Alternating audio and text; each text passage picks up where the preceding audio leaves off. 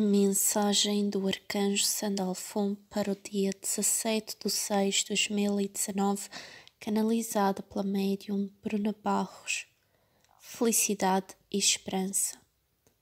Eu, Arcanjo Sandalfon, venho hoje transmitir-vos esta mensagem para que compreendam que as coisas nem sempre acontecem quando e como querem, mas acontecem quando e como têm que acontecer. Não queiram apressar ou adiar as coisas, porque há um tempo certo para cada coisa. Sempre a vossa intuição, pois ela vos, vos guiará ao longo da vossa jornada. Não a ignorem. Vocês são luz, por isso iluminem o mundo com a vossa luz interna. Não permitam ninguém vos dizer quem é que têm que ser ou o que é que têm que fazer, porque vocês devem de ser vocês próprios independentemente do que os outros pensem sobre vós. O mais importante é se manterem fiéis à vossa essência. Compreendo, compreendo que as coisas nem sempre sejam fáceis aí na matéria, mas vocês devem de ser fortes e corajosos e não permitir que o vosso ego, medo, raiva, etc., vos dominem, porque eles só vos prejudicam. Deixem a vossa alma vos guiar para o caminho certo. Foquem-se na vossa jornada, porque se estiverem focados na jornada dos outros, não irão a lado nenhum. Tenham cuidado para não caírem armadilhas. Muitas vezes caem e nem se apercebem. O hábito de reclamar e outros hábitos negativos são armadilhas do vosso ego. Por isso, substituam todos os vossos hábitos negativos por hábitos positivos.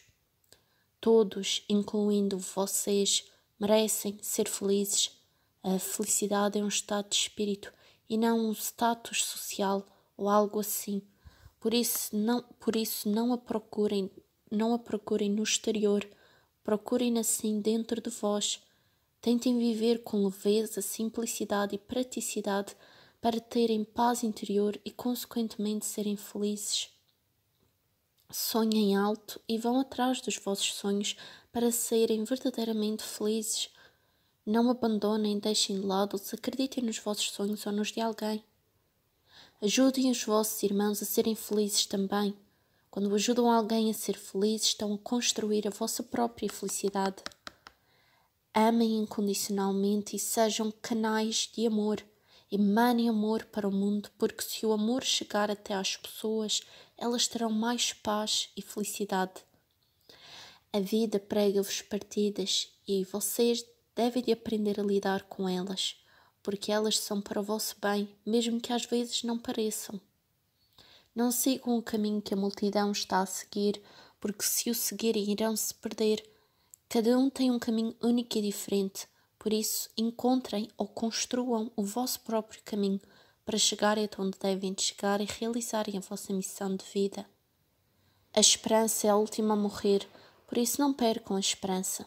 Esperança é a convicção não só de que Deus e o mundo espiritual existem, como também as leis universais existem e por existirem e estarem constantemente a atuar é que o que acontecerá no futuro será o certo e terá um propósito maior. Sentir esperança não é acreditar em fantasias e ilusões, mas sim é ter consciência da realidade. Quem não sente esperança desespera-se facilmente nos momentos difíceis, enquanto que quem é esperançoso consegue lidar da melhor maneira com aquilo que acontece. Não queiram fazer tudo num dia só. A vossa jornada aí na Terra tem um determinado tempo e esse tempo é o suficiente para realizarem a vossa missão de vida e tudo aquilo que é necessário. A vida tem as suas alegrias e tristezas, mas isso faz parte da vossa evolução espiritual. Vocês têm que passar por todo o tipo de experiências para evoluírem. Sejam humildes e agradeçam por tudo ao Pai. Se Ele não seriam ninguém, nem teriam nada. Vocês são luz, por isso não deixem a escuridão entrar dentro de vós e vos corromper, mas sim enviem luz para ela para transmutarem-na e assim ela se tornar luz. Não mintam nem omitam nada a ninguém, nem compactuem com mentira ou omissão, porque elas são contra as leis divinas. Se agirem de acordo com as leis, tudo correrá da melhor forma possível. Mas se agirem contra elas, irão colher as consequências do vosso erro. para aprenderem a agir em harmonia com o todo. Sejam os vossos melhores amigos em vez de serem vossos inimigos. Não se julguem, critiquem ou culpem, nem façam isso aos outros, porque todos, incluindo vocês, são espíritos em evolução. Ninguém é perfeito. Vocês devem tentar se tornar uma versão melhor de vós próprios a cada dia e também ajudar os outros a se melhorar. Cuidem de vós para terem a capacidade de ajudar e cuidar dos outros. Pensem em vós e também nos demais. Tudo o bem que praticarem retornará a vós de uma maneira ou de outra. A vida na matéria é breve e passageira, por isso aproveitem-na da melhor maneira. Não a desperdicem através dos vícios, excessos ou o que quer que seja, porque se desperdiçarem, mais cedo ou mais tarde se arrependerão de terem feito isso. Não desanimem quando as coisas não correrem como esperam, porque tudo acontece como tem que acontecer Muitas vezes vocês acham que não são o suficiente, não têm potencial, etc. Mas isso não é verdade. Vocês têm um potencial ilimitado dentro de vós. Só têm é que despertá-lo e usá-lo da forma correta. Vocês nem sempre dispõem dos meios e do conhecimento para fazerem isso. Portanto, procurem sobre autoconhecimento e espiritualidade para saberem como despertar e usar o vosso potencial. O perdão é essencial. Sem perdão não há paz interior e consciência tranquila, e, consequentemente, não há felicidade. Por isso, perdoem mais e peçam mais vezes perdão. Não permitam ninguém dominar a vossa vida ou decidir por vós, porque quem vive a vossa vida são vocês e não eles. Assumam o comando da vossa vida e escolham o melhor para vós. Escolham ser felizes. Não permitam a tristeza e o desânimo tomarem conta de vós, porque se permitirem, cairão numa espiral de medo, angústia e desespero e assim tornar-se-ão depressivos, e isso é algo grave. Saibam que tudo passa e que não há bem que sem perdure nem mal que perdure. Continuem em frente na vossa jornada, mesmo quando aparecerem obstáculos e adversidades no vosso caminho, porque vocês são capazes de ultrapassar tudo já que têm um potencial ilimitado e o Senhor vos ampara.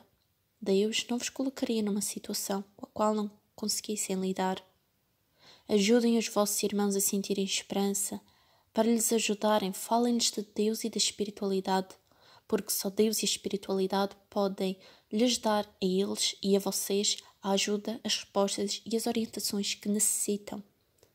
Não queiram prejudicar nem prejudiquem ninguém porque se fizerem isso irão colher sérias consequências para aprenderem com os vossos erros e assim se corrigirem. Pratiquem o bem e, quando o praticarem, lembrem-se que ao intencionarem e fazerem o bem, atraem o bem. Quando se sentirem desesperançados, orem, porque através da oração para que através da oração se conectem ou fortaleçam a vossa conexão com Deus e os amigos espirituais e assim eles vos transmitam bons fluidos energéticos e ajudem a sentir esperança. Quando se sentirem cansados e sem forças, façam uma pausa para ganharem forças e recuperarem o fogo e assim conseguirem continuar em frente. Fazer uma pausa é diferente de desistir, por isso, sempre que for necessário, façam pausas. Não tenham expectativas quanto a nada nem ninguém, porque as expectativas geram desilusões e frustração. Aceitem os outros tal como eles são e aceitem-se também tal como são, para estarem bem convosco próprios e de bem com a vida, e assim serem felizes. Nem sempre, nem sempre o que os outros dizem é o melhor para vós. Às vezes os outros não dão bons conselhos, e para além disso, aquilo que serve para eles pode não servir para vós já que cada um é único e diferente e tem necessidades diferentes. Procurem o que é indicado para vós e façam aquilo que o vosso coração sente que deve, que deve de fazer, em vez de irem atrás do que a vossa mente diz. Todos são diferentes, logo uma coisa é boa para uns e prejudicial para outros. Quando sentirem que não são capazes de fazer algo ou que algo ultrapassa os vossos limites, Lembrem-se que há um enorme Criador que cuida de tudo e de todos e que tudo sabe e tudo pode. Façam a vossa parte, deixem Ele fazer a sua e confiem para tudo correr da melhor maneira. Sintam-se merecedores daquilo que é bom.